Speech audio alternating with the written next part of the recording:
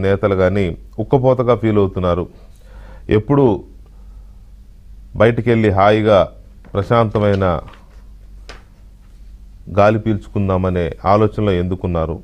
బహిరంగంగానే నిరసన గళాలు ఎందుకు వినిపిస్తున్నారు? అనేది ఇవాళ మన టాపిక్ యాక్చువల్గా అయితే దాంట్లోకి వెళ్ళే ముందు ఇందాక బ్రేకింగ్ కాబట్టి ముందు కొంచెంసేపు అది మాట్లాడాల్సిన అవసరం ఉంది. అది కూడా భయంకరమైన ప్రజా వ్యతిరేక రాజ్యాంగ విరుద్ధమైన ప్రజాస్వామ్యాన్ని కూనీ చేసే జీవో నంబర్ వన్ గురించి మాట్లాడుకుందాం.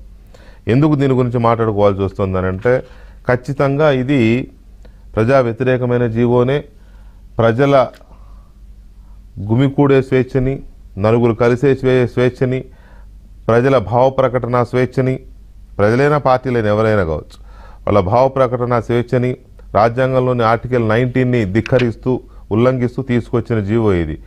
ఎన్ని కహానీలు చెప్పినా ఎన్ని స్టోరీలు చెప్పినా ఇది ప్రభు ప్రజల యొక్క భావ ప్రకటన స్వేచ్ఛ పైన వాక్ స్వాతంత్రం పైన ఫ్రీడమ్ ఆఫ్ స్పీచ్ అంటాం కదా దానిపైన ఇది బ్యానే. బ్యాన్ కాదని ఎన్ని కబుర్లు చెప్పినా నమ్మే పరిస్థితి లేదు. ఇది ఎందుకు ఖచ్చితంగా చెప్పాల్సి వస్తుందంటే ఇందాకే Andhra Pradesh law and order DG Ravishankar Ayyanar garu మాట్లాడారు మంచి ఆఫీసర్. వరంగల్లో ఓఎస్డీగా చేశారు తర్వాత హైదరాబాద్లో వివిధ పోస్టులో చేశారు పరిచయం మంచి మంచి ఆఫీసర్ నో డౌట్. ఆయనదే ఉంది ఆయన చెప్ప ప్రభుత్వం ఏం చెప్పమని చెప్తారు తప్పే ఉంది. కాకపోతే ఆయన మాట్లాడిన మాటలు ఏంటంటే ముందుగా గెస్టులను పరిచయం చేస్తాను.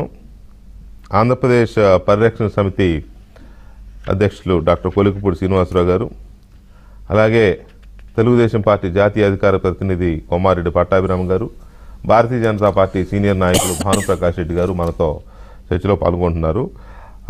ముందుగా ఒకసారి రవిశంకర్ అయ్యన్నార్ గారు ఏమన్నారో విందాం. విన్న తర్వాత దాని మీద ఒపీనియన్ తీసుకుందాం. ప్లీజ్.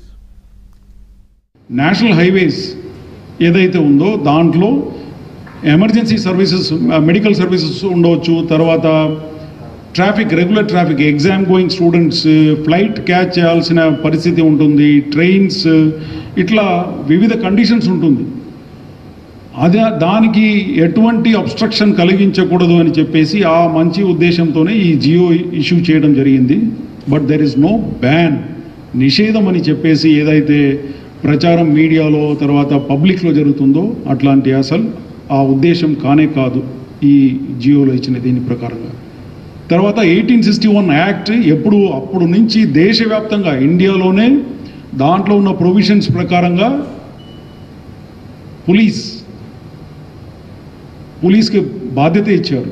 సో దాని ప్రకారంగా పర్మిషన్స్ ఇవ్వడం జరుగుతుంది. ఎవరికైతే ఎవరైనా పర్మిషన్ అడిగితే దానికి ఇప్పుడు సో కొన్ని కండిషన్స్ ఉంటుంది దాంట్లో. Nearly thirty forty conditions are there ఆ కండిషన్స్ అన్నీ కూడా ఫుల్ఫిల్ చేస్తూ వీళ్ళు district administration the police must visit the venue and give permission ఇప్పుడు కొన్ని పార్టీస్ ఇప్పుడు జనసేన వాళ్ళు ఇచ్చారు తర్వాత other parties over is giving the permission for instance శ్రీకాకుళంలో పర్మిషన్ కోసం పెట్టారు. సో పెట్టిన దాని మీద they given permission they given permission the proceedings are also issue to that effect jointly the district administration అందుకే ఈ జియోలో ఎయిటీన్ సిక్స్టీ వన్ యాక్ట్లో ఏదైతే ప్రొవిజన్స్ ఉందో దాన్ని రీఇటరేట్ చేస్తూ అన్ని ఇప్పుడు రీసెంట్లో జరిగిన ఇన్సిడెంట్స్ అన్ని అన్నిటిని కూడా పరిగణలో తీసుకొని రీటరేట్ చేయడం జరిగింది కానీ ఈ విధంగా కొత్తగా బ్యాన్ అదంతా అసలు లేనే లేదు. ఎందుకంటే రాజ్యాంగ పరంగా ఆర్టికల్ నైన్టీన్ ఏదైతే ఉందో దాంట్లో freedom of assembly freedom of assembly ఎక్కడైనా they can gather and address a issue దాని మీద. సో ఇటువంటి బ్యాన్ ఏదైతే ప్రచారం చేస్తున్నారో that will be that will be opposing the provision under article nineteen of the constitution. So ban yeah పదే పదే ఆయన నొక్కి చెప్తున్నారు there is no ban there is no ban రీసెంట్గా జరిగిన ఇన్సిడెంట్లను బేస్ చేసుకుని ఇది తీసుకొచ్చామని చెప్పి రవిశంకర్ అయ్యన్నార్ గారు పదే పదే చెప్తున్నారు. ఎలా రవిశంకర్ అయ్యన్నర్ గారు?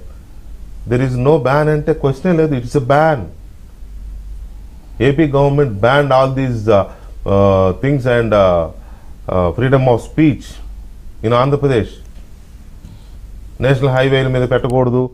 స్టేట్ హైవేల మీద పెట్టకూడదు. రవిశంకర్ అయ్యనార్ గారు మీరు ఇప్పుడు అడిషనల్ డీజీ బహుశా ఇంతకుముందు ఐజీగానో డిఐజీగానో ఉన్నప్పుడు మన జగన్మోహన్ రెడ్డి గారు పాదయాత్ర చేసినప్పుడు రెండు వేల పంతొమ్మిది ముందు ఆయన ఎక్కడ పెట్టినారు బహిరంగ సభలు? నడి రోడ్డు మీద. ప్రతిరోజు సాయంత్రం నడి రోడ్డు మీద పాదయాత్ర డయాస్ వేసి మొత్తం ఊరు ఊరంతా జామ్ చేసేసి పెట్టలేదా? పెట్టడాన్ని మే నేను ఇప్పుడు తప్పుపట్టడంలా? పెట్టారు కదా?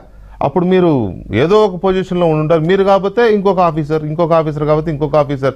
Law and order ADG గాను డీజీ గాను ఉన్నారు కదా? ఏ అప్పుడెందుకు ఎయిటీన్ సిక్స్టీ వన్ పోలీస్ యాక్ట్ని రీఇటరేట్ చేయాలని అనిపించలేదు? అప్పుడు ప్రభుత్వానికి కానీ అప్పుడు పోలీస్ అధికారులకు కానీ ఇప్పుడు మాత్రమే గుర్తొచ్చిందా? దెర్ ఈజ్ నో బ్యాన్ అనడానికి ఏంటి అసలు బేస్ ఏంటి మీకు? బ్యాన్ లేదు అని చెప్పడానికి బేసే లేదు మీకు. కుప్పంలో సొంత ఆ నియోజకవర్గ ఎమ్మెల్యే వెళ్ళడానికి బ్యాన్ చేశారు మీరు.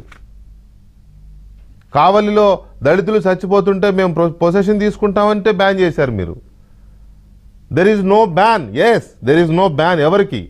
అధికార పార్టీ నాయకులకి. ఇప్పటికి పది ఊరేగింపులు జరిగినాయి మీరు ఈ జీవో తెచ్చిన తర్వాత. ఏ ఒక్క ఊరేగింపును కూడా మీరు ఆపలేదే? మంత్రులు వందలాది మందిని వెంటేసుకుని ఊరేగుతున్నారు కదా? నిన్నగాక మొన్న కాకినాడలో అంతకుముందు ప్రకాశం జిల్లాలో మంత్రి ఆదిమూలపు సురేష్ అంతకుముందు విజయనగరంలో వేలాది మందితో ఒక ఊరేగింపు. ఎన్నో జరిగినాయి ఇలాంటివి. ఏ ఒకటి నందిగామలో. నందిగామలో మున్సిపల్ ఏదో ప్రమాణ స్వీకారం సంథింగ్ ఏదో అలాంటిది. దానికి పెద్ద ఊరేగింపు. ఇవన్నిటికి పర్మిషన్ వాళ్ళు లెటర్ పెట్టారా? మీరు పర్మిషన్లు ఇచ్చారా? రోడ్డు మీదనే కదా? రోడ్డు మీదనే జరిగాయి. మరి వాటికి లేని బ్యాన్ మిగతా వాళ్ళకి ఎందుకు వస్తుంది? జనసేనకి ఇచ్చామని గొప్పగా చెప్తున్నారు. ముప్పై నాలుగు కండిషన్లు పెట్టారు. థర్టీ ఫోర్ కండిషన్స్ రోడ్డు మీద వెళ్ళకుండా ఎక్కడ గాలిలోంచి దిగుతాడు పవన్ కళ్యాణ్ అక్కడికి? ఏ రోడ్డు మీద వెళ్ళకుండా తన శ్రేణుల్ని ఉత్సాహపరచకుండా ఎవరు వెళ్తారండి? అసలు అక్కడ దాకెందుకు ఈ జీవో వచ్చిన మొట్టమొదటి రోజే జీవో మిడ్ నైట్ వచ్చింది. పొద్దున్నే జగన్మోహన్ రెడ్డి గారు రోడ్ షో చేశారు బస్సులో కూర్చుని. రాజమండ్రి. రాజమండ్రిలో. ఏ? అది అది ఉల్లంఘన కాదా మరి? ఎందుకు ఇది బ్యానే డెఫినెట్గా మీరు కాన్స్టిట్యూషన్ ఆర్టికల్ నైన్టీన్ని ఉల్లంఘిస్తున్నారు. ఆర్టికల్ నైన్టీన్ని బ్యాన్ చేస్తున్నారు. There is no second opinion there is no second thought in mobs AP సమాజం మొత్తం దీన్ని నిరసిస్తోంది. మీరు ఎన్ని కబుర్లు చెప్పినా పోలీసులు కావచ్చు ప్రభుత్వ ప్రభుత్వం కావచ్చు లేకపోతే అధికార పార్టీ నాయకులు కావచ్చు ఎన్ని కబుర్లు చెప్పినా this is a ban ban ban ban this is a ban against article nineteen Indian constitution constitution ఇంత ఇదిగా ఇంత పచ్చిగా చేస్తూ ప్రతిపక్షాల గొంతు నొక్కేస్తూ ప్రజా సంఘాల గొంతు నొక్కేస్తూ బ్యాన్ లేదు అని చెబితే ఎలా అది సాధ్యమే కాదు. మీరు చెప్పే దాంట్లోనే లూఫోల్ ఉంది. సో ముందుగా దీని మీద శ్రీనివాసరావు గారు